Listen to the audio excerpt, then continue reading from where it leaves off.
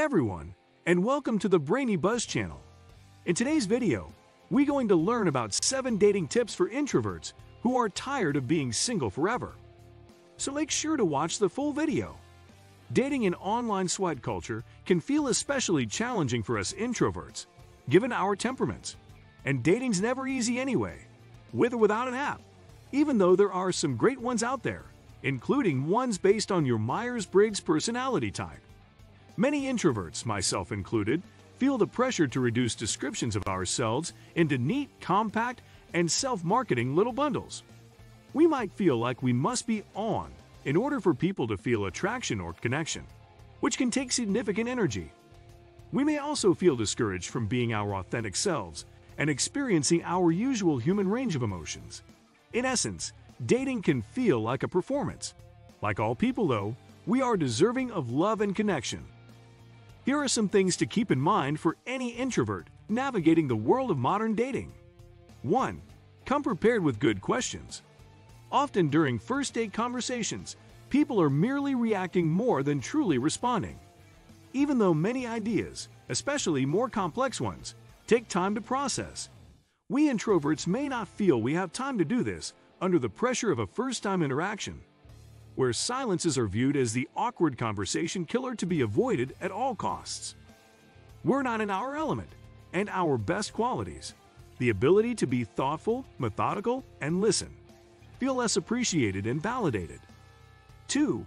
Choose an apt environment. Many people, especially introverts, can draw upon an understanding of environmental psychology to optimize their experience in social settings, dates included. Awareness of environmental factors can lend insight into why we might be feeling or behaving a certain way. For example, maybe you see a plant with long green leaves between two bottles of Smirnoff on the shelf behind the bartender's head. Or you notice an orange candle flickering on the black circular table next to you. Or you see that there are purple cushions covering the vintage wooden bar stools. By focusing on the concrete, you'll clear space in your mind and be in a better place to take in what your date is saying. If you're still watching then please likes, share the video, and don't forget to subscribe to our channel. Ok, let's continue with the next step. 4. Do a shared activity to get out of your overthinking head. At the beginning stages of forming a connection, two people are guarding this precious little flame, our hearts and souls, that burns within us. Connection happens when the two flames come together, but both people's shields have to be down in order for this to happen.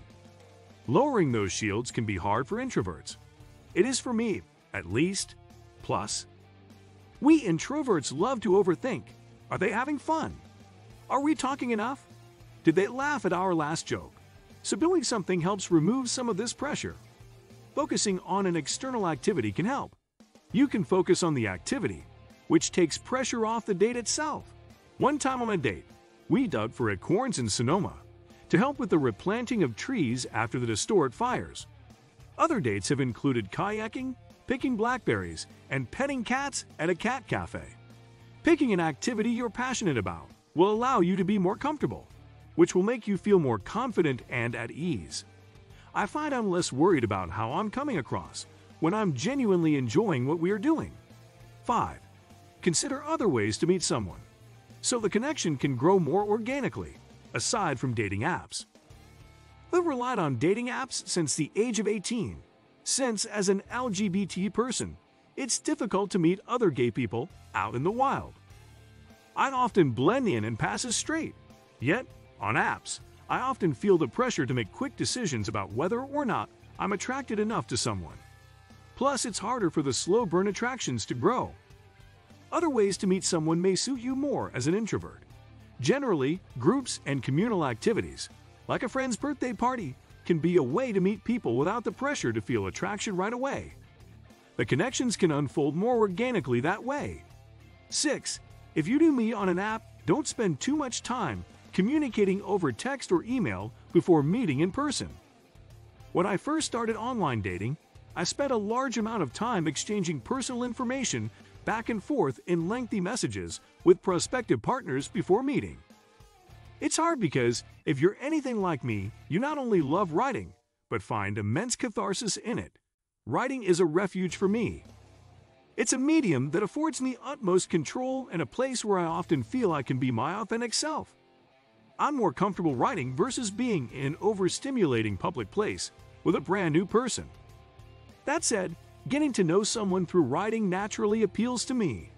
After several negative experiences, though, I've learned that resisting this impulse leads to less disappointment later on. The way I've come to see it is that the amount of time dedicated to written correspondence is directly proportional to the amount of disappointment you'll feel when things don't work out or when the person is not who you thought they'd be. 7. Be aware of fantasy relationships. Experiences have taught me that practice too early on, before trust and a foundation have been established. Excessive written contact can also fuel the engine of fantasy relationships. Introverts tend to have rich fantasy lives. It's one of our superpowers. So often we fill in the missing spaces and unknowns with our own details. This can lead to feeling let down when the in-person counterpart fails to match up to whatever idealized version our mind has concocted. For instance, in writing and on the phone, maybe you bonded over what you thought was a shared passion for dogs. But then, in person, it becomes apparent that their interest is only passing and tepid, and that they only volunteered at a shelter once. Thank you for watching the Brainy Buzz. If you enjoyed this video, make sure to like and subscribe, and don't forget to click notification bell for more.